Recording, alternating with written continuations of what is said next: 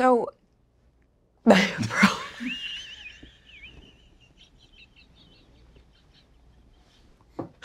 a very good frame. my approach, my approach to Bella. Oh boy. Um, I, I, uh, I guess for a while I thought it was, you know, a very, I, I. Stop it.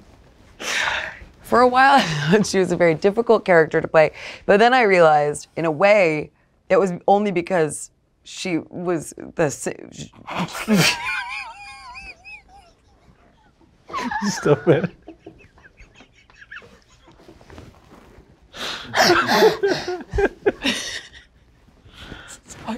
Okay. but I realized that it's because Don't she's start like I'm crying.